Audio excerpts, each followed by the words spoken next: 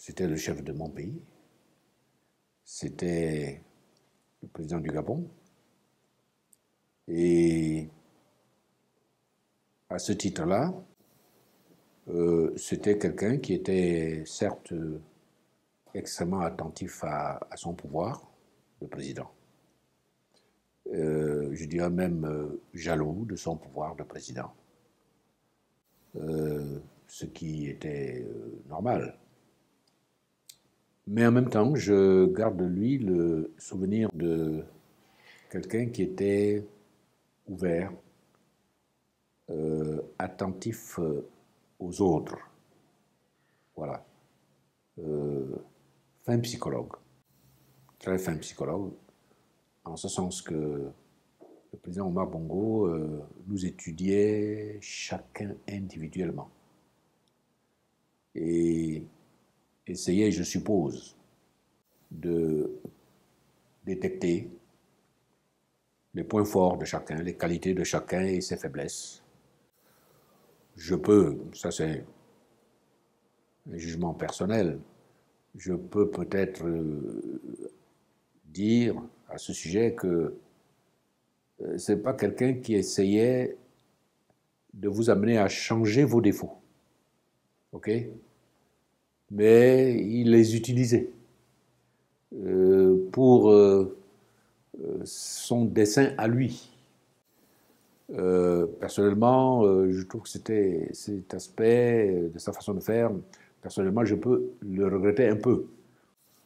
Mais au total, c'était quelqu'un qui s'intéressait aux gens, c'était quelqu'un d'humain. C'était quelqu'un d'humain.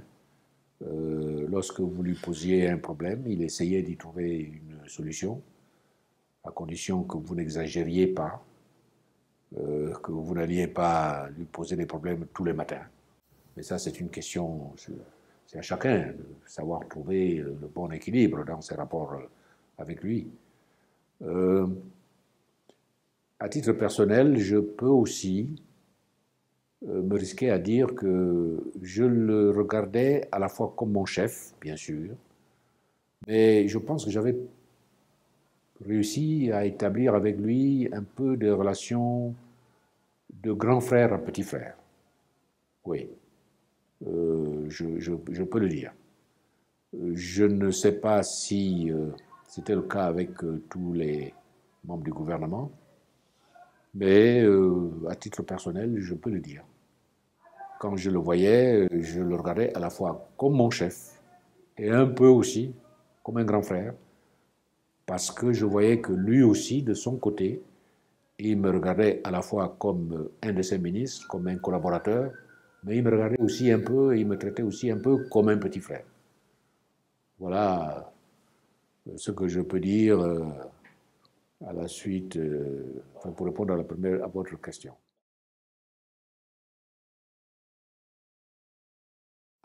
Ma première rencontre, la première fois que je vois le président Bongo, J'étais encore étudiant en France. C'était à Paris.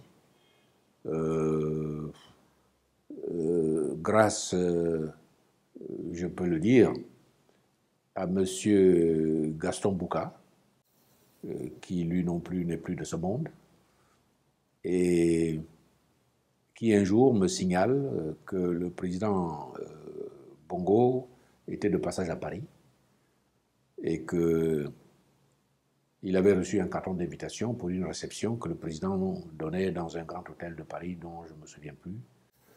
Euh, et il m'a suggéré d'y aller, d'aller à ce cocktail avec lui. Je lui ai répondu que moi je ne pouvais pas aller parce que je n'étais pas invité. Moi j'étais un petit étudiant, j'étais un inconnu à l'époque. Il a insisté, euh, Gaston a insisté pour que je l'accompagne.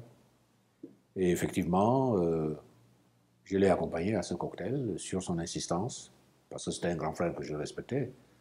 Et nous y sommes allés, et euh, lorsque nous arrivons, le président Bongo reçoit donc les invités, et puis euh, était devant moi, il le salue, tout ça, et puis après, il, me l'a présenté, et j'ai vu qu'il me connaissait de nom.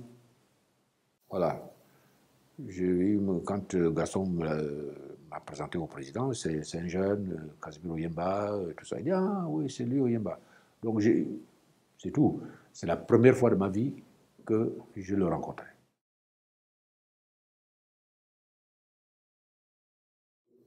Disons que dans mon travail, euh, je dois dire d'abord que quand je, quand je finis mes études et que je rentre au Gabon et que je commence à travailler à la Banque centrale, c'était le président Bongo qui était déjà à la tête du pays.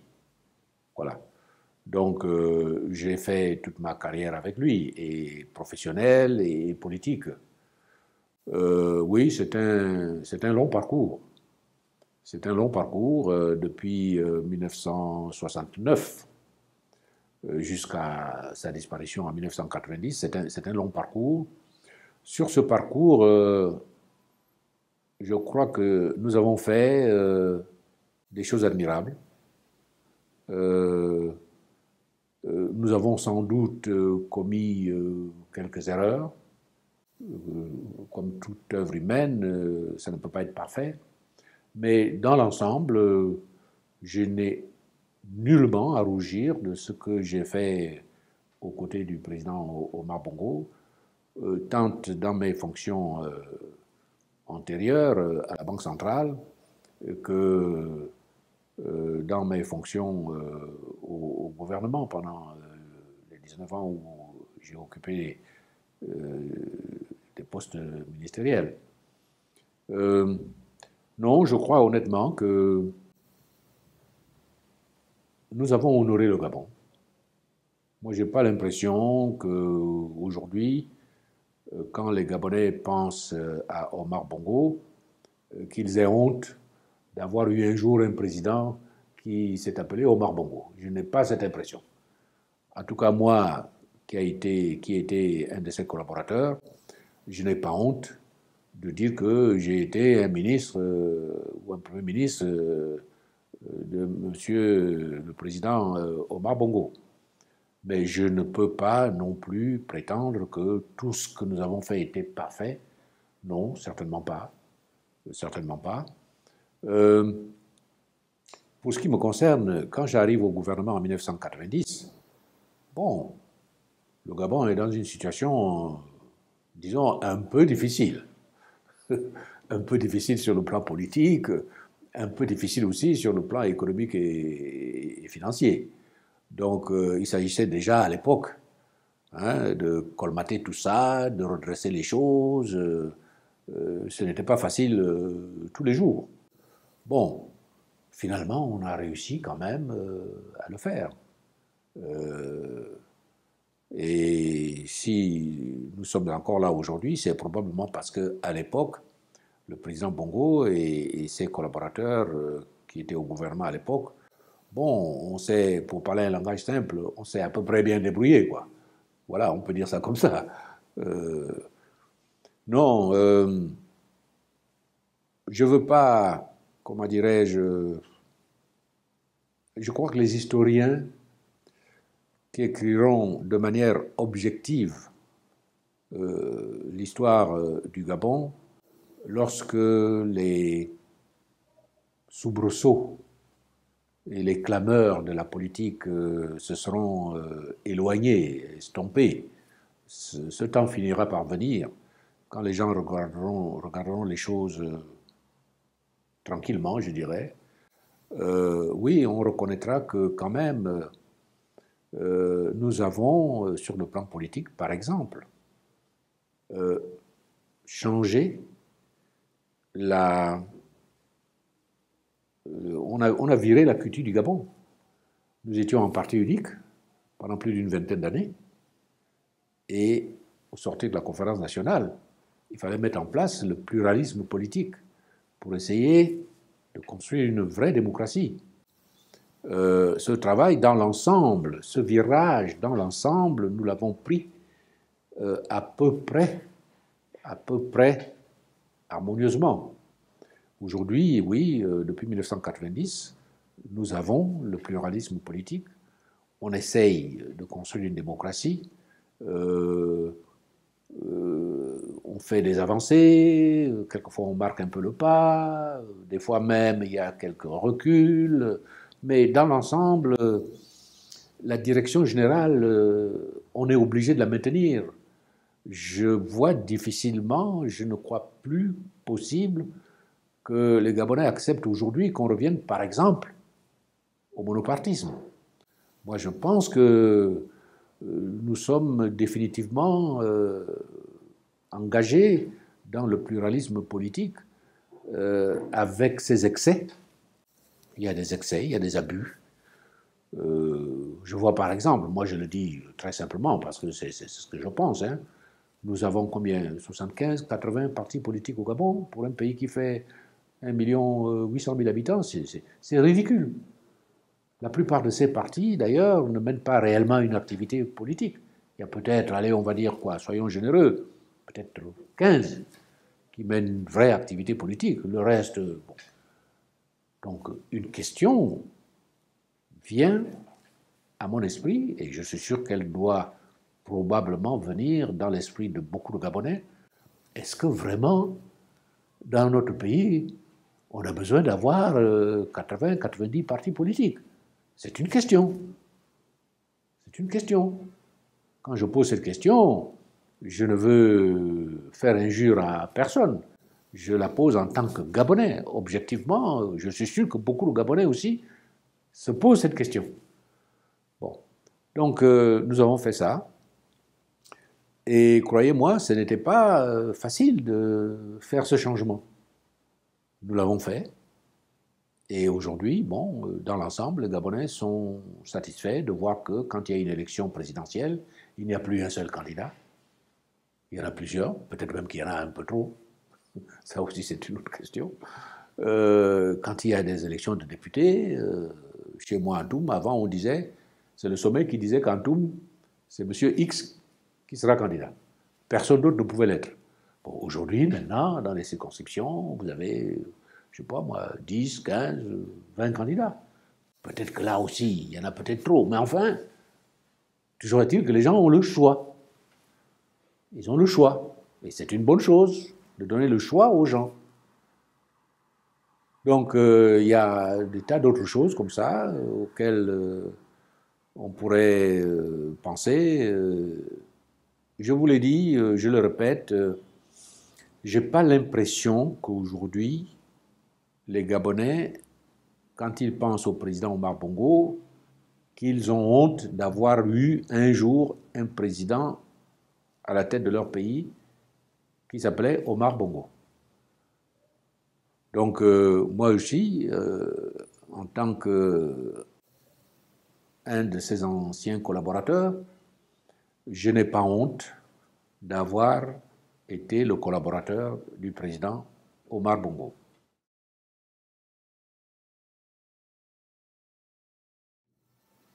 Ah oui, oui, non, non. Quand il y avait des crises, des moments chauds, des moments difficiles, oui, le président Bongo avait une grande qualité, à mon sens.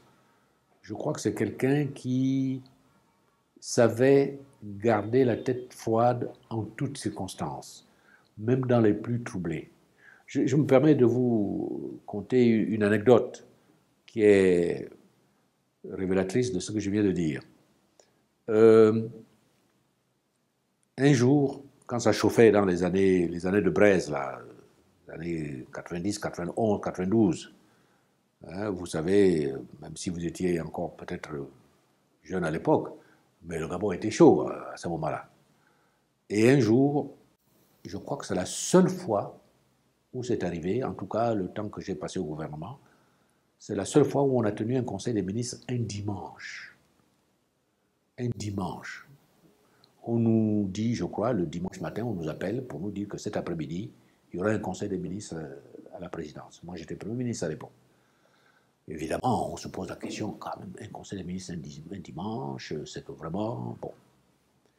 Et je suis arrivé à la présidence un peu euh, avant euh, les autres ministres, parce que comme souvent, avant les conseils des ministres, je voyais le président euh, avant, pendant une demi-heure, pour qu'on échange un peu sur les questions qui allaient être évoquées pendant le conseil des ministres.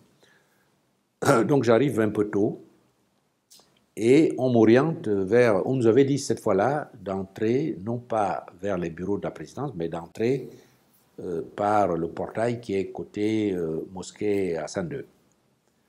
Donc quand vous arrivez, il y a une grande esplanade là qui s'ouvre devant vous, et je rentre, et je trouve le président Omar Bongo assis sur cette, sur cette esplanade, en train de se faire couper les ongles des doigts de pied par quelqu'un. Il, était très serein, alors que je savais que le pays était en ébullition. Donc cette image m'est restée parce que malgré, j'allais dire, la chaleur de la température du pays, je le trouve euh, tranquillement dehors. On est en train de lui couper euh, ses ongles du pied. Euh. il me dit comme ça va? Je dis oui, ça va. Bon, assois-toi et tout ça. Et puis on commence à.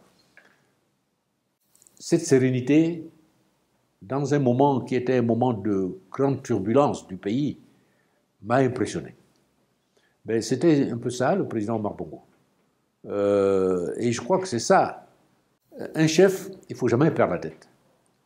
Même quand c'est difficile, même quand c'est dur, parce que c'est le chef qui, qui, reste le point de repère de tout le monde. Mais si lui, il panique, mais c'est foutu. Donc, euh, euh, c'était l'une de ses, oui, l'une de ses qualités, euh, en toutes circonstances, en tant que chef, garder la tête froide. parce que si vous ne gardez pas la tête froide, vous ne pouvez pas véritablement analyser le problème et trouver les bonnes solutions. Donc il faut commencer d'abord par rester serein. Et puis, euh, oui, vous l'avez dit, vous m'avez interrogé là-dessus, je pense que le président Bongo était quelqu'un de, je vous l'ai dit, attentif aux autres. Attentif aux autres, humain, humain, mais ferme sur son pouvoir, jaloux de son pouvoir, euh, donc euh, oui, euh, je pense que s'il se rendait compte que votre façon de travailler pouvait être d'une manière ou d'une autre une menace pour son pouvoir, il en tirait les conséquences, il vous sanctionnait, quitte même deux, trois, quatre ans après à, vous reprendre. Mais en attendant, il vous aura fait une leçon en espérant que vous allez retenir cette leçon. Bon, euh, mais sinon, euh, je pense que c'était quelqu'un de, oui, d'humain.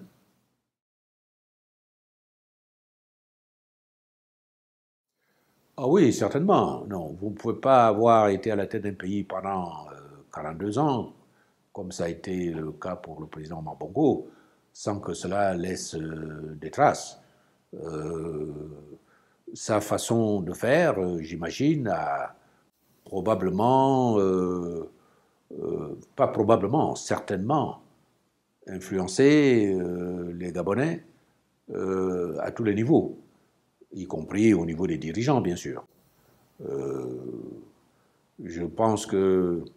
Et cette influence, elle peut avoir des aspects, elle a des aspects assurément positifs, mais elle a certainement aussi des aspects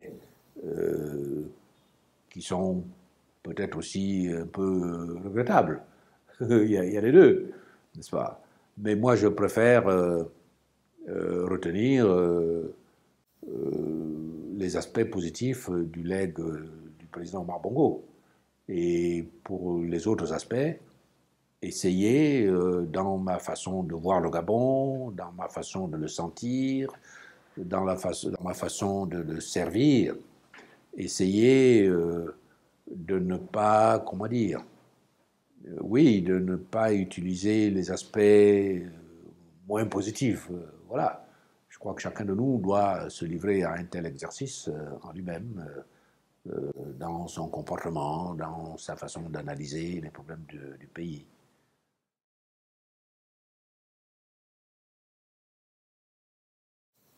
À l'âge que j'ai aujourd'hui, non, parce que je considère que j'ai atteint un âge honorable où, j'ai le droit de prétendre à ma retraite. Euh, donc non.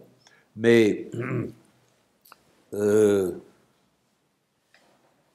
encore que je, pense qu'en fait, euh, on ne cesse jamais de servir son pays. Parce que servir son pays ne signifie pas forcément que on est à un poste de responsabilité déterminé. Non.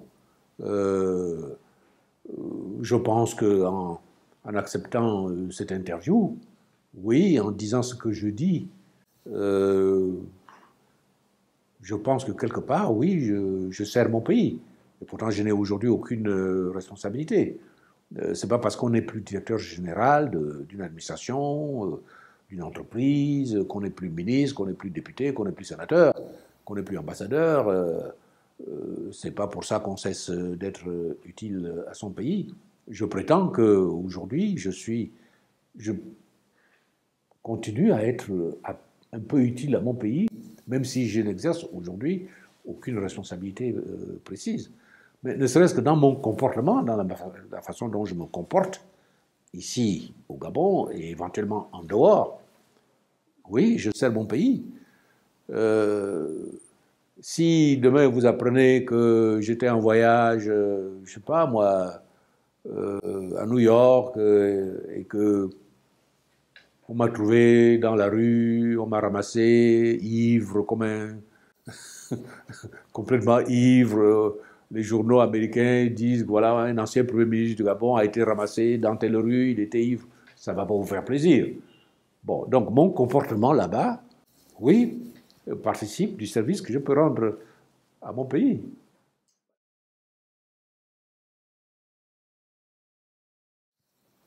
Oh, j'ai eu la chance de pouvoir, euh, comme je vous ai dit tout à l'heure, euh, établir avec le président Obongo, en dehors de nos rapports, euh, j'allais dire, professionnels, hiérarchiques, euh, des rapports un peu personnels.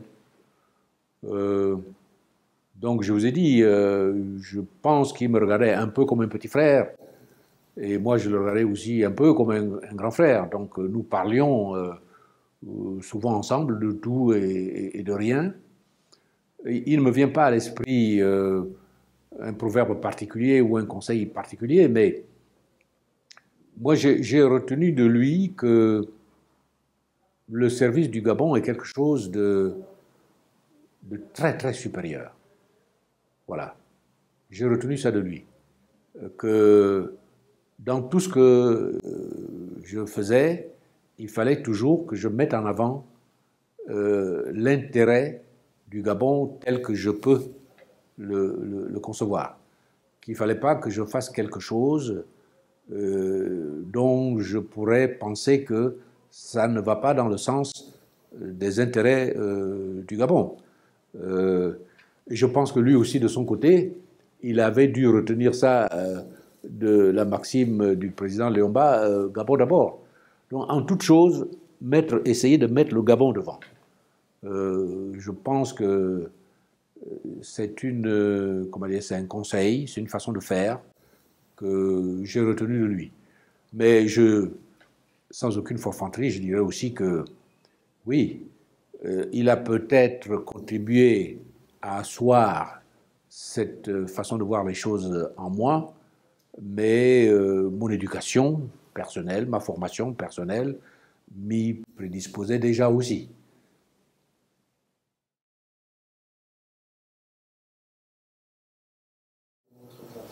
Oui, certainement. Non, le président Omar Bongo avait assurément une, vision du Gabon, euh, une vision ambitieuse, ambitieuse. Euh, le président Bongo estimait que le Gabon, malgré que ça ne soit pas un pays de très grande population, euh, le Gabon devait avoir sa place dans le concert des nations. Que euh, nous ne devions pas être complexés du tout. Euh, moi-même, encore une fois, j'ai déjà un peu ce tempérament-là.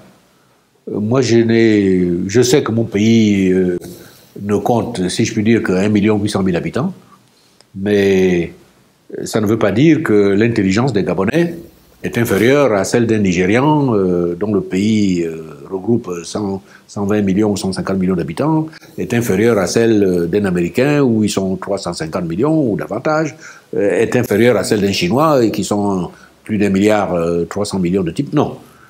Moi, quand je travaillais, quand je vais quelque part, je vais assister à une conférence, je discute avec un, homologue étranger, euh, peu importe sa nationalité, je sais que je suis là pour défendre les intérêts du Gabon.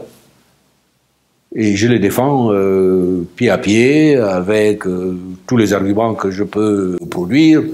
je n'ai pas le complexe, disons que je viens d'un petit pays, non. Je, je sais que je suis là pour défendre les intérêts du Gabon, même face à un Mexicain, à un Chinois, pour moi c'est pareil. Voilà. Et je pense que le président Bongo, euh, il, était comme ça et il avait raison d'être comme ça. C'est pour ça que les Gabonais eux-mêmes l'appelaient un peu petit piment.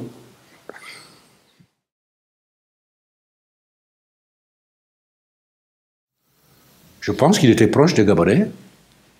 Euh, d'abord parce que je trouve, à l'époque, je lui disais d'ailleurs, euh, le président Omar Bongo, son bureau était relativement accessible. Je l'ai vu plusieurs fois recevoir des gens de, conditions sociales euh, très très modestes. Et des fois, euh, il passait une heure, deux heures à écouter des gens, alors que des fois, nous l'attendions pour une séance de travail, n'est-ce pas? Euh, je, note aussi, et vous le noterez avec moi, que quand le président Bongo était à la tête de notre pays, chaque année, je dis bien chaque année, il faisait une visite officielle dans au moins une province ou deux. Euh, sans motif apparent, il décidait que, bon, on va aller, euh, je sais pas, dans le Ouévino, dans le Wolentem, euh, on rencontre les gens, les notables, etc. Oui, il était, euh, à ce titre-là, euh, proche des gens. Mais le président d'un pays doit être comme ça.